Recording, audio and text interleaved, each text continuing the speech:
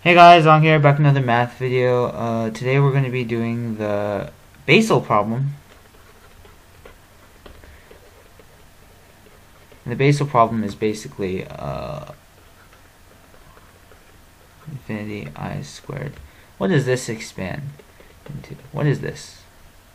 And uh, if you're not familiar with this notation, this is just 1 over 1 plus 1 over 4 plus 1 over 9, etc. over 1 over infinity squared. What does this equal? And yes, this series does converge. It, it is a value. Um, and just try it out. And don't feel bad if you can't solve it. Uh, this is a, a long, fought, hard problem that you will eventually solve. So, um, yeah. And don't, so don't feel bad if you can't solve it. Okay, so let's solve it. Yeah. Um, you caution, you do need a bit of calculus knowledge to solve this because you do need knowledge of the Taylor series. To start out, we need to express sine x in terms of the Taylor series. And sine x in terms of the Taylor series is just x minus x cubed over 3, uh, 3 factorial plus x5 over 5 factorial plus x7 over 7 factorial. This is what this is the polynomial approximation approximation of sine of x. And uh, you might be wondering, what is this? Um, how do you derive this? How do you get this? Um, it's complicated. You have to use derivatives. Um, I recommend uh, taking a basic calculus course or a calculus textbook if you're not familiar with cal these calculus topics yet. Um, or just go on Khan Academy and he'll help you with derivatives and Taylor series and the basic calculus or and stuff like that. But uh, for this problem, you do need to know the Taylor series. But this is all you need to know. So if you don't know, just know this is uh, this is equal to sine of x. Okay. And uh, what the solution calls for is that we divide both sides by x, and I'll tell you why later. Is x squared over 3 factorial plus x 4 over 5 factorial. Okay, now we have this. And uh, let's try to graph this. Let's graph it. Why don't we? And uh, if we graph this, I know what you're thinking right now. How the heck does trigonometry have anything to do with finding this sum of the series? Well, you'll see. Graph this, it looks something like this where this is pi, 2 pi, 3 pi, negative pi, negative 2 pi, etc., etc. So, uh, from here, we notice the roots are r equals plus minus pi, plus minus 2 pi, plus minus 3 pi, etc. What do you do here? Well, usually if you have a polynomial, how would you actually express it in terms of the, its roots? Well, usually what I would do is I would do x minus r1 times x minus r2 times x minus r3 etc. equals 0. That would be the polynomial. That's what I would do. You just multiply these together and then you eventually get a polynomial with those roots, right? Well, that's what we're going to do here, actually. We know the roots, right? We know the roots.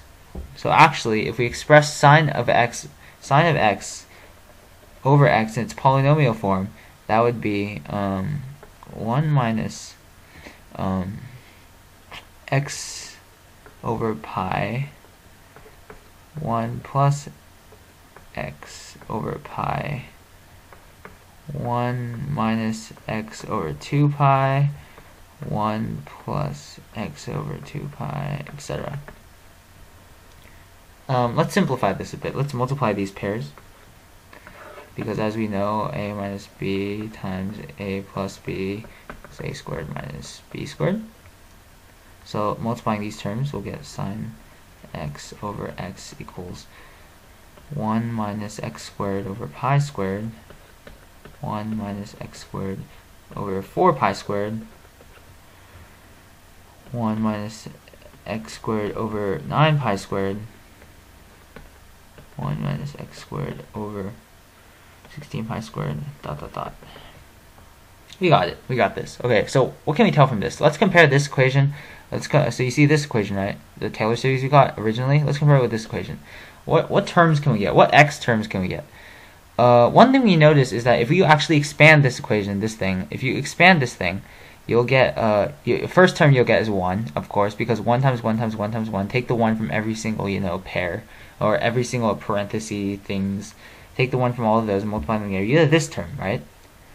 And then if you take uh if you just take one of the x squares and just multiply by uh, so one of the x squares term from one of them and multiply whoops and multiply by all the other ones so negative x squared over pi squared times 1 times 1 times 1 you get uh, an, some kind of x squared term with a coefficient and that's the x squared term over here and then if you take two x squared terms like this one and this one uh, this one and this one and then you multiply one, one, one, and you just uh, every and you add uh, all the x fourth terms together, um, you get an x fourth term.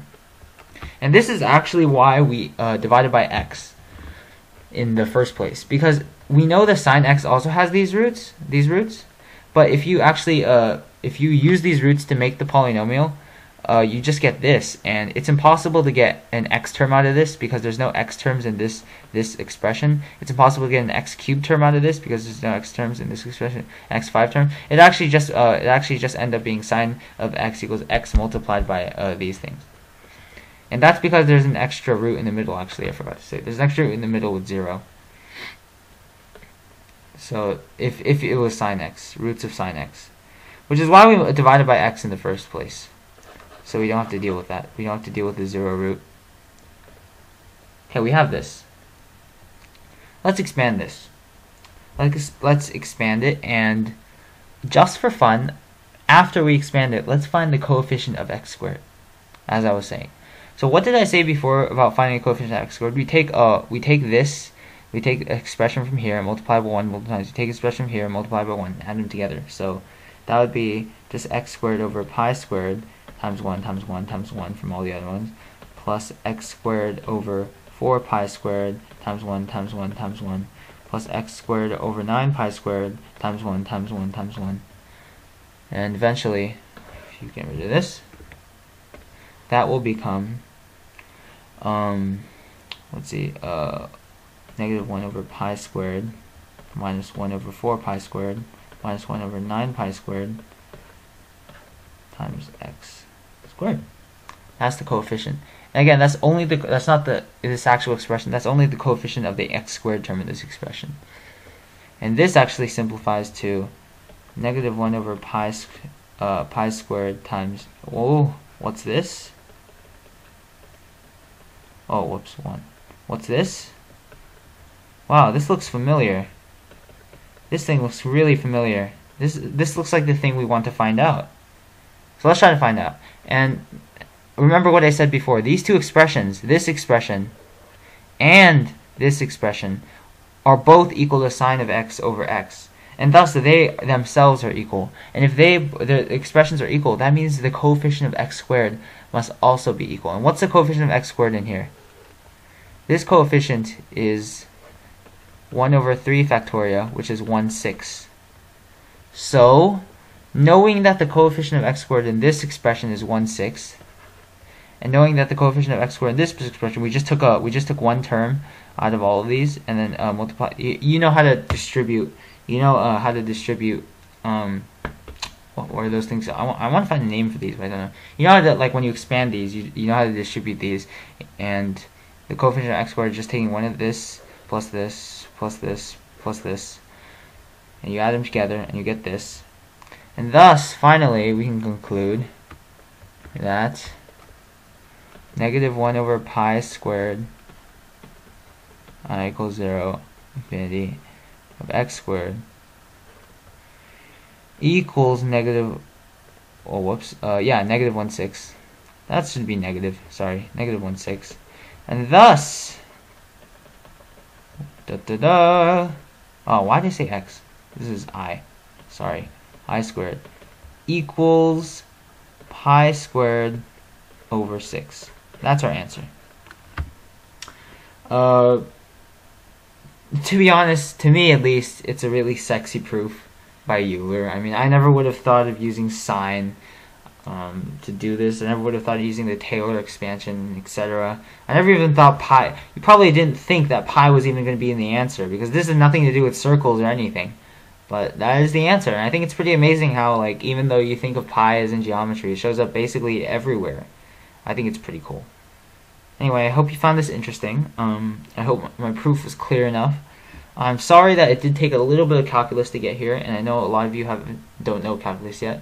For those that do, I hope you found this problem to be fulfilling. So, uh, thanks, and I'll see you next week. Of all the numbers, the median goes middle number. These are all values we'll use eventually, and the range is the uh, oh whoops largest minus smallest.